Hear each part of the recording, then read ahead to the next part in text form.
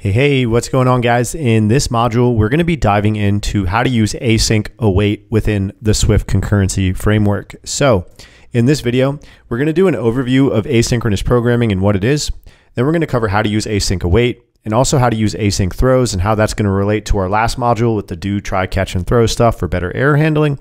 And then we're going to build an awesome sample app to go over how we can use all of this stuff in a real life application. So, what is asynchronous programming, guys? Well, first let's talk about the opposite of that, which is synchronous programming or synchronous code. And that's where tasks execute one after the other. So they don't execute at the same time or concurrently. This can obviously be inefficient, especially when one task might take an unknown amount of time to complete before the other task can begin. So with asynchronous programming, you can start a task and continue with other work while waiting for that task to finish. Another way to put that is you can run those tasks concurrently or at the same time. And this is the foundation of Swift concurrency. Guys, that's where the term concurrency comes from. It refers to running multiple tasks at the same time, which is asynchronous, instead of running them synchronously, which means you can only do one at a time. And before one task can complete, or get started, the previous task, if there is one, has to have finished. An example I like to give to illustrate synchronous versus asynchronous processes is imagine you are at a bank and there's a mm-hmm. really long line of people in front of you and there's only one teller. Well, synchronous processing is having to help those people one at a time, and you can't help the next person until you have helped the current person at the counter, right? One task cannot begin until the previous task has completed or the task at hand has completed. An asynchronous example of that situation would be if there are multiple bank tellers and multiple people could be helped at the same time. So you have the same task running, which is helping a person at a counter, but now you can execute multiple tasks at the same time. That's sort of the essence of running tasks concurrently versus running them one at a time or synchronously. So let's go ahead and keep going with how to use async await, guys. So what is this? So Swift's async await syntax makes it easier to read and write asynchronous code. With async, you define functions that perform asynchronous tasks. When you call an async function, you use await, which essentially tells Swift, pause here until the task is complete, then continue on to the next line of code. So now that we've covered that, guys, let's go ahead and dive into Xcode and actually get some practice with using async await and check out the sample app that we're going to be building. And before we hop into the code, guys, the full version of this course, the pro version of this course, is available on the website at stephancodes.com in the fundamentals section here. So this is obviously just one of the modules taken from the course that I'm posting on YouTube for free. If you guys want access to the whole thing, with a bunch of additional modules and more in-depth explanations and better examples, go ahead and check us out at stephancodes.com.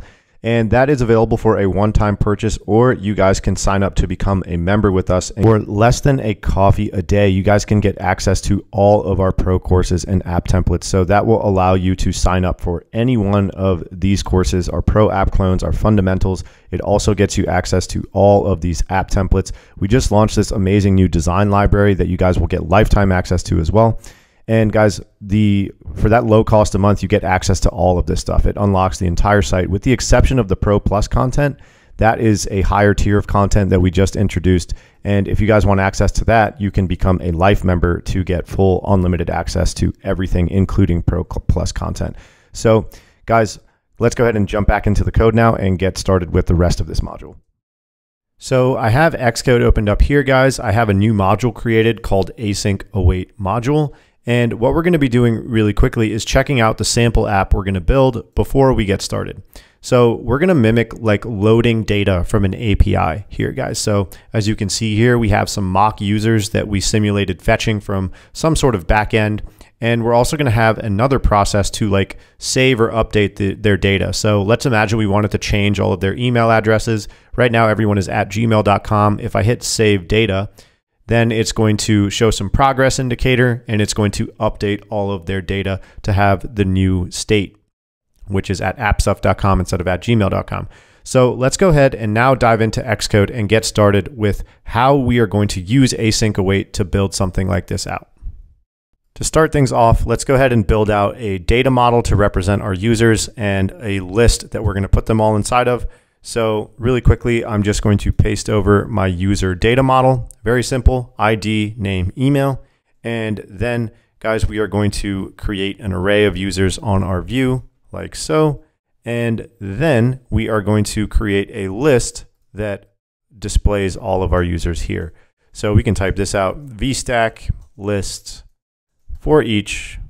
Oh, look how smart Swift is, man. The autocomplete is awesome. For each user's user in, we have text user.name. Let's go ahead and make a vstack and say we want the text user.name text user.email and let's make our alignment on this leading. So this is our UI guys, super simple to put that together.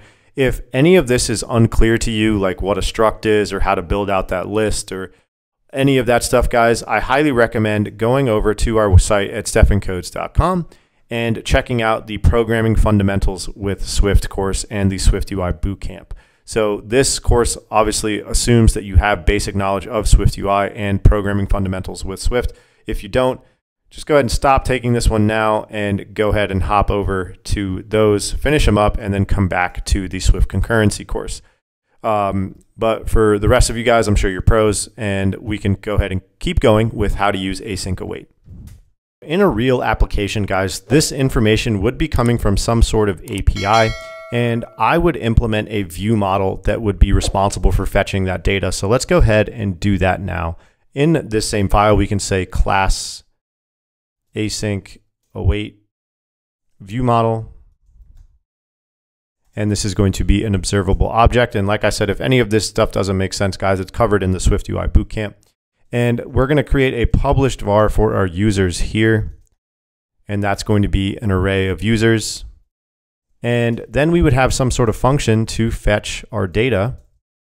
And then we could take our users from here and we could go ahead and say let users equal that and self dot users equals our users. And now we can implement our view model in our um, view guys as a state object.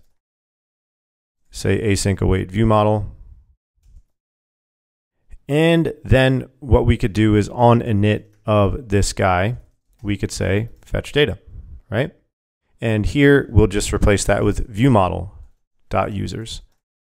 So now we have extracted the responsibility of fetching our data and providing it to our view into a view model, which is what you will see most of the time in SwiftUI applications. We're not going to be doing anything with the MV architecture here. We are going to be sticking to MVVM, which I personally think is the best way to go.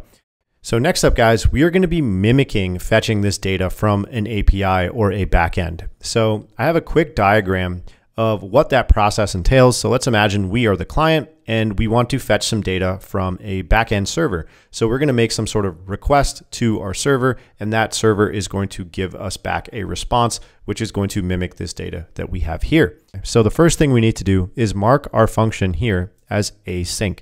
So this is our async keyword. So this tells our compiler that this function is asynchronous. So that immediately throws an error async call in a function that does not support concurrency. So here's what's happening, guys. For those of you that don't know, code executes synchronously, right? So we have all of these lines of code, right? And our compiler goes through one by one from one all the way down to, in this case, 56, and executes each line of code synchronously, one by one. That's how your compiler works. But now we have code that can execute asynchronously or in a concurrent environment. So we can't just call that in this synchronous context here. So to solve this problem, one, we need to say await, and that is going to give us the same error. What we can do is then just cut this, and we're going to create this task, guys. So if we look at the documentation for a task, it is a unit of asynchronous work. We can just go ahead here, open up some brackets, and paste our operation in there. So basically what this does is create some sort of task and then we place our asynchronous operation within that task. So you guys will notice that you can run as many of these tasks as you want and everything is still good to go, right? So we're going to do a deep dive into tasks in the next module, as you can see here, guys. Just know that in order to execute asynchronous code, which is what this is, in a synchronous context, which is what this is, we need to do that within a task. So now, guys, we are going to await this result.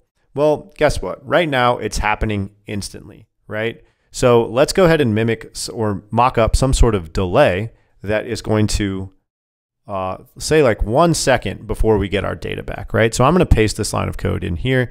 This is how we use a delay using the task object. We can say dot sleep and just do this with your uh, with these nanoseconds, guys. You're going to do one, two, three, four, five, six, seven, eight, nine zeros and separate them with underscores.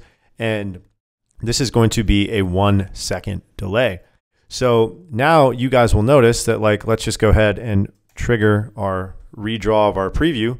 Our data is not going to come back for a second. And if I change this to two, it's going to take two seconds to come back. So this is sort of the essence of async await here, guys. We have marked this function as an asynchronous function, and this await keyword creates what is known as a suspension point in our code. And it's going to wait for this process to complete until we can go to the next line of code. To see this happening in real time, let's go ahead and add some print statements. Let's go ahead and say print entered task and we can go here and say print completed task. So we're note, we'll notice, guys, that this doesn't come back until this process completes. So let's go ahead and add a print statement in our fetch data function at the end of it. Print did fetch users. And let's go ahead and make this the root view of our application. So grab async await module, oops, copy that, go to your app folder, and paste that guy right there. And let's run this bad boy and pay attention to the console, guys. We can see here that we were getting some back from the preview, but I want us to actually just run this on the simulator. It's a lot cleaner and the print statements will be a lot more clear. So you guys will notice that it's just going to take a little bit of time for it to launch. We'll start getting print statements back here in just a second. So we entered our task. Ooh, check that out did fetch users and then completed tasks. So don't worry about this red error really quick uh, for now, guys. We'll fix that later. I want to run this again so we can see it happening in real time. Entered task, two seconds later, did fetch users and then completed task. So let's hop back into our module and let's just uh, sort of dive through this logic here. So we see here that first it enters the task, then it awaits the completion of this process, which takes, in this case, two seconds. And then we get this print statement back. So let's bring this up. And then we get our completed task print statement, guys. So that's a great introduction as to how to utilize the async await keywords within the Swift concurrency framework, guys. I have some notes up here that I want to paste for you that are the important takeaways from this video before we move on to the next one where we're going to continue with building our sample app. So we notice that an async function requires the use of await when called. So when we mark a function with the async keyword, we have to, when we call it, utilize the await keyword to wait for that result to come back before we continue on with our code execution. So an async func can also not be called from a synchronous context. So guys, this applies to point three as well we noticed that we couldn't just call this from a synchronous context. We had to wrap it in a task. And that is because this creates like a task of asynchronous work that our system will execute and the system handles the rest of that stuff for us. But eh, like we said before, code executes synchronously and as it's going line by line, if we want to utilize an async function, we have to wrap that in a task so it can execute asynchronously and the system handles the rest of the work for us. So like I said, that is going to wrap it up for this video, guys. It was just a quick introduction on how to use async await. In the next one, we are going to keep going with building out our sample app and get a little bit more complex with this async await Swift concurrency stuff. So get excited for that. We'll see you there. Peace.